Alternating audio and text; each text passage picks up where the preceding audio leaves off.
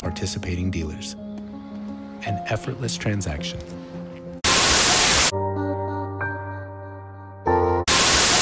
Americans across the country need expanded voting options during the pandemic. But on Friday, Governors Kate Brown and Jay Inslee laid out their visions on what needs to happen to reopen their states.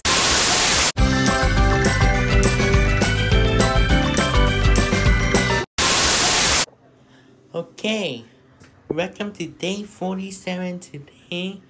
We will today we will be a quick news, plenty of clips, and that's probably going to be it for today.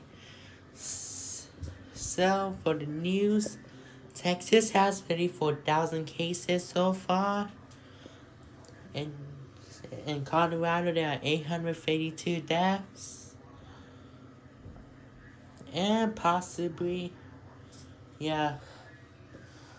And I didn't forget in some place else, in LA County, now trying for to 26,000 deaths.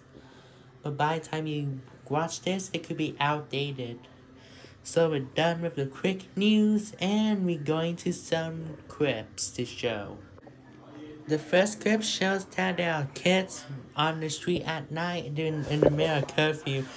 I think that could be a, I think probably dangerous at night without if they were any supervision. Supervision is included for the. شوف هذه هذه فردوسية شوفوا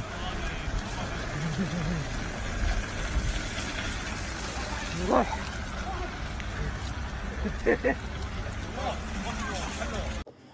And we're going to decide to film the cops and then it stops at you and asking a quick question. In what to see what they to see what the guy in recording doing. But he still managed to record still.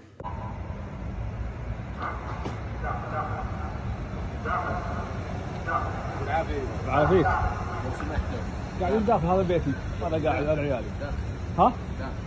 بعد ليش داخل؟ إن شاء الله. إن شاء الله. عافيك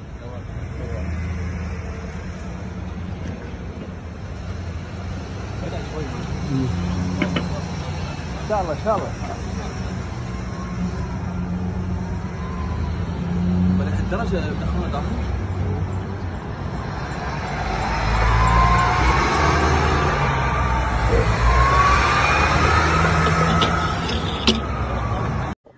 Well, that's probably it for today and see you tomorrow after the quick stuff for today.